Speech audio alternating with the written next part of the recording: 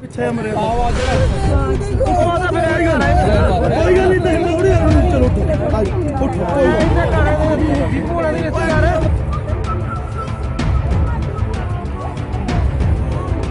ਇਹਨੂੰ ਉਹ ਬੱਸ ਹੋ ਗਈ ਜਾਓ ਯਾਰ। ਦੋ ਜਣੇ ਚੱਲ ਜਾਓ। ਐਦਾਂ ਵੀ ਬੱਤ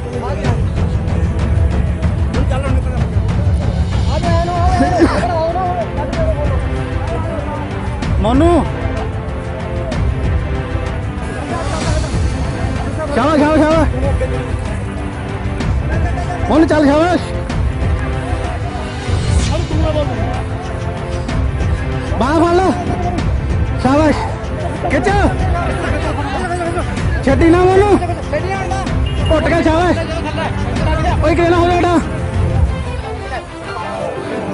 ਫੋਟੋ ਫੋਟੋ ਕਿਹਨਾਂ ਨਾ। ਕੋਈ ਨਹੀਂ ਕੋਈ ਨਹੀਂ ਕੋਈ ਨਹੀਂ ਹੌਸਲਾ।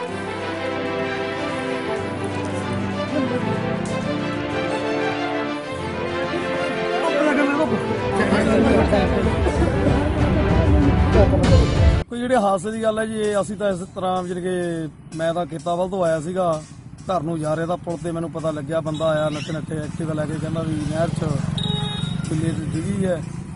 ਤੇ ਕੱਢਣ ਨੂੰ ਕੋਈ ਛਾਲ ਨਹੀਂ ਮਾਰਿਆ ਆਪਾਂ ਜਦੇ ਗਏ ਜਾ ਕੇ ਦੇਖਿਆ ਵੀ ਹੜਦੀ ਜਨਾਨੀ ਲੇਡੀਜ਼ ਆਇਆ ਕਰਦੀ, ਆਪਾਂ ਜਦੇ ਤੁਰੰਤ ਛਾਲ ਮਾਰ ਕੇ ਉਸ ਨੂੰ ਸਹੀ ਸਲਾਮ ਤਰੀਕੇ ਨਾਲ ਬਾਹਰ ਕੱਢ ਲਿਆ।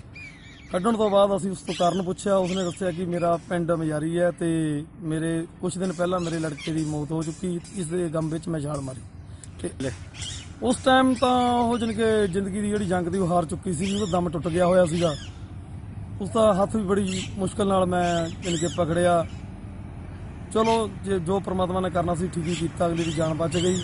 ਉਸ ਤੋਂ ਬਾਅਦ ਉਹਦੇ ਰਿਸ਼ਤੇਦਾਰ ਬੁਲਾਏ ਅਸੀਂ, ਉਹਨਾਂ ਦੇ ਹਵਾਲੇ ਕਰ ਦਿੱਤਾ ਉਸ ਨੂੰ ਠੀਕ ਹੈ।